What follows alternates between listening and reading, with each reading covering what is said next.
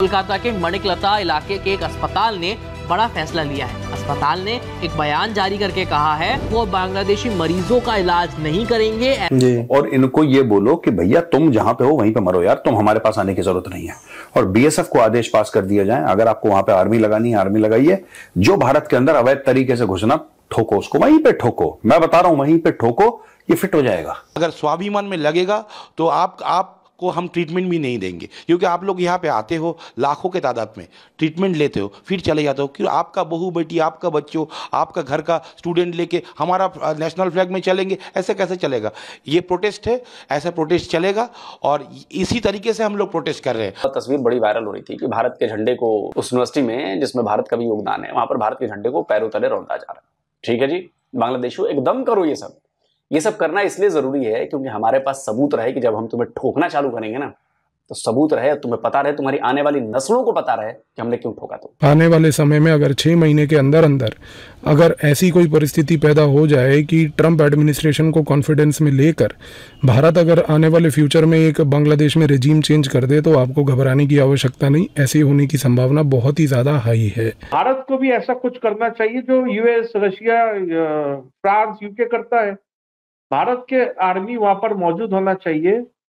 In order to protect वहाँ के minority जो हिंदू है, उनका सुरक्षा के लिए भारत ऐसा कर सकता जय हिंद दोस्तों। वेस्ट बंगाल के अंदर डॉक्टर्स ने प्रोटेस्ट किया है और उन्होंने कहा है कि हम बांग्लादेशी मरीजों का इलाज नहीं करेंगे और यह तब तक जारी रहेगा जब तक भारत की सरकार बांग्लादेश के हिंदुओं पर हो रहे अत्याचार और भारत के खिलाफ हो रही साजिश पर कोई सख्त कदम नहीं उठाती है। और ये सिलसिला जारी रहेगा। इसी के ऊपर आज हम मेजर साहब से कुछ इनपुट लेने वाले हैं। आप इस वीडियो को एंड तक देखिएगा। चैनल पर नए हैं। चैनल को सब्सक्राइब करना मत भूलिएगा। आज की तारीख में तिरंगे पे पैर रख के जा रहे हैं। ठीक है? ये सारे के सारे भूखे इंडिया आते हैं। जी सही बात। अगर इतनी नफरत करते तो आते क्यों हो यहाँ पे यार? तुम्हें बुलाया किसने है?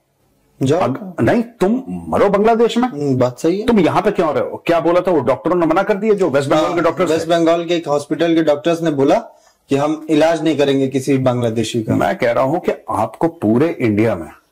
ये जब मैंने न्यूज़ पढ़ी सर मैं आपको रोक रहा हूँ सॉरी तो मुझे ना कल वाली वीडियो याद आई इसी शो की सर जब आपने बोला था मैंने आपसे सवाल पूछा था ना कि स्ट्रेटेजिकली क्या करना चाहिए उनके कि बांग्लादेश सही हो। आज जो हुआ है सर मुझे सबसे अच्छी चीज़ लगी हालाँकि न्यूज़ मैंने कल शाम को ही पढ़ी थी लेकिन मुझे बहुत अच्छी चीज़ लगी है कि हॉस्पिटल में इलाज नहीं होगा अब इनका। इनको सारे वीज़ा इनके बंद करो ठीक है? जी। और इनको ये बोलो कि भैया तुम जहाँ पे हो वहीं पे मरो यार तुम हमारे पास आने की ज़रूरत नहीं है। और बीएसएफ को आदेश पास कर दिया जाए अगर आपको वहाँ पे आर्मी लगानी है आर्मी लगाइए।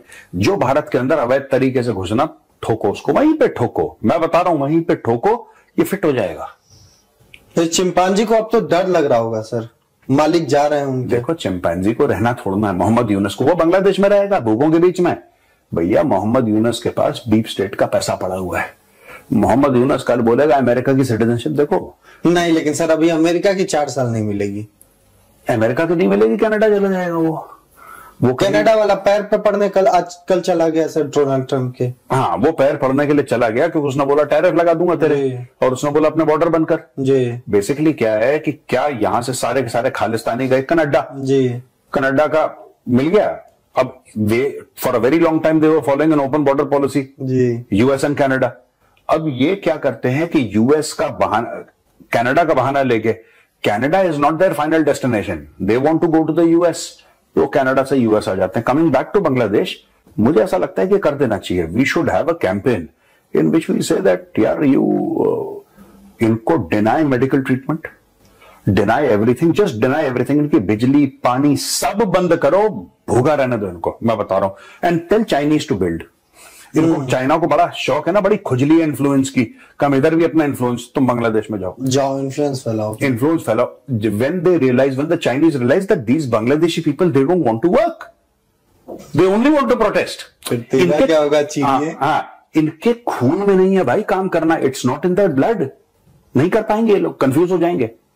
Bangladeshi don't want to work they are lazy people they don't want to work they only want to protest let them protest आने वाले समय में अगर छह महीने के अंदर अंदर अगर ऐसी कोई परिस्थिति पैदा हो जाए कि ट्रंप एडमिनिस्ट्रेशन को कॉन्फिडेंस में लेकर भारत अगर आने वाले फ्यूचर में एक बांग्लादेश में रेजीम चेंज कर दे तो आपको घबराने की आवश्यकता नहीं, ऐसे होने की संभावना बहुत ही ज़्यादा हाई है।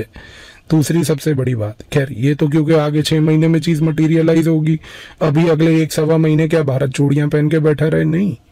ये स्टेटमेंट देने से कुछ नहीं होगा। बार बार मिनिस्ट्री ऑफ़ एक्सटर्नल अफेयर किसी तरफ़ से स्टेटमेंट दे देना, हम कड़ी निंदा करते हैं। सुनिए, कड़ी निंदा मत कीजिए। काम कीजिए। काम क्या करना है? सबसे महत्वपूर्ण समझिए आप। हम बांग्लादेश को इस समय एसेंशियल मेडिसिन और प्याज, इन दोनों का एक्सपोर्ट करते हैं। प्याज फिर भी इतना ज़्यादा सिग्निफिकेंट अमाउंट एक्सपोर्ट नहीं है जितना एसेंशियल मेडिसिन है। पूरा का पूरा बांग्लादेश इस मोमेंट पर लगभग एक भारी मात्रा में भारत से एसेंशियल मेडिसिन से ऊपर डिपेंडेंट है।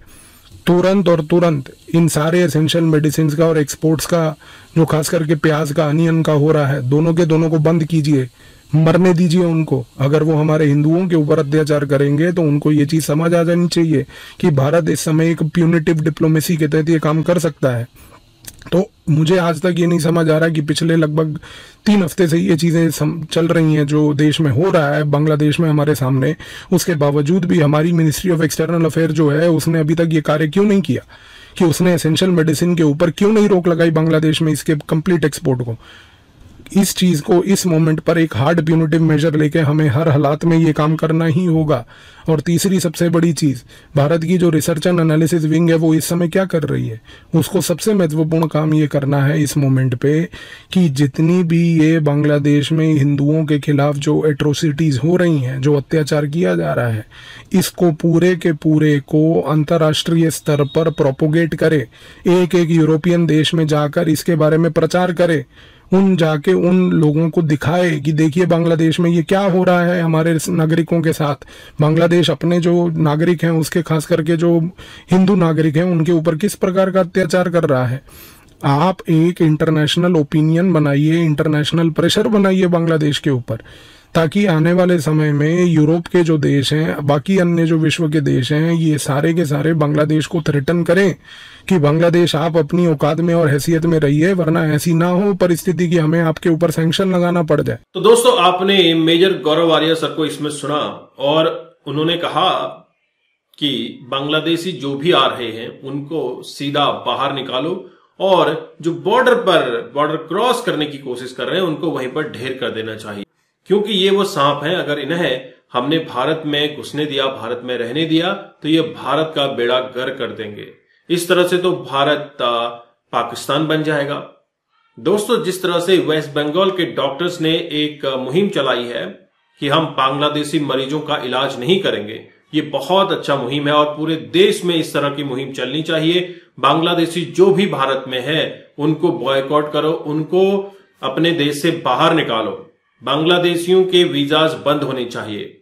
और साथ ही साथ, आपको ये भी इंश्योर करना होगा, अगर आप किसी बांग्लादेशी के संपर्क में हैं, उनसे संपर्क साधना बंद कर दीजिए। जिस तरह से बांग्लादेश में हिंदुओं के खिलाफ अत्याचार हो रहे हैं, इस्कॉन के प्रीस्ट के खिलाफ अत्याचार हो रहे हैं, उनको लगातार प्रताड़ित किया जा रहा है, उनको जेल में ठूसा हुआ है, और वहीं बांग्लादेश की सरकार हिंदुओं के खिलाफ एक्शन लेने के लिए उतारू है। दोस्तों, बांग्लादेश की यूनिट सरकार तो फेल हो गई है। एक तरफ़ तो ये गजवाए हिंद की बात करते हैं और दूसरी तरफ़ टोटली भारत पर डिपेंड रहते हैं। अगर बांग्लादेशियों का कोई बड़ा बीमारी लग जाए तो ये भारत ही आते हैं इलाज करवाने के लिए। और इनको ट्रीटमेंट भारत से चाहिए, राशन इनको भारत से चाहिए, बिजली इनको भारत से चाहिए, पानी इनको भारत से चाहिए, और गजवाए हिंद भारत के खिलाफ करना है। ऐसे लोगों को तो लात मारकर बाहर निकालना चाहिए। मैं सारे देशवासियों से आह्वान करना चाहूँगा कि अगर आप किसी बांग्लादेशी को इस तरह से सपोर्ट कर रहे हैं, डेफिनेटली लात मारकर बाहर निकालिए और अपने देश की संप्रभुता को बचाने की कोशिश कीजिए। और ये पूरे देशवासियों को करना चाहिए, जिस तरह से बांग्लादेश के डॉक्टर्स ने बहुत अच्छा कदम उठाया है, जो मुहिम चलाई है बांग्लादेशी मरीजों के इलाज ना करने को लेकर। इसी तरह से भारत की सरकार ने भी कुछ न कुछ ऐसे स्ट्रांग स्टेप लेने चाहिए। न जाने भारत की सरकार कब स्टेप लेगी। हालाँकि, जिस तरह से भारत की सरकार काम करती है धीरे धीरे धीरे धीरे, और ऐसा ही कुछ हो सकता है कि बांग्लादेश एक समय पर दम तोड़ दे। हो सकता है बांग्लादेश के अंदर रिजीम चेंज हो जाए और हसीना वाजिब फिर से बांग्लादेश की प्रधानमंत्री बने। इस पर डेफिनेटली काम किया जा रहा होगा। हमें अपने प्रधानमंत्री पर पूरा भरोसा है कि वह कहीं ना कहीं बांग्लादेश के इस मैटर में कहीं ना कहीं कुछ ना कुछ काम ज़रूर कर रहे होंगे और बांग्लादेश में हो रहे हिंदुओं के प्रति जो अत्याचार है, उसके खिलाफ भी कुछ न कुछ कदम उठ रहा होगा। आपके क्या विचार हैं? क्या बांग्लादेशी डॉक्टर्स ने सही कदम उठाया है? या फिर पूरे देश में इस तरह की मुहिम चलनी चाहिए? अपने विचार कमेंट कीजिएगा, चैनल पर नए हैं। चैनल को सब्सक्राइब करें। हम आपको मिलते हैं अगले वीडियो में। तब तक अपना ध्यान रखिए। जय हिंद, जय भारत, जय श्री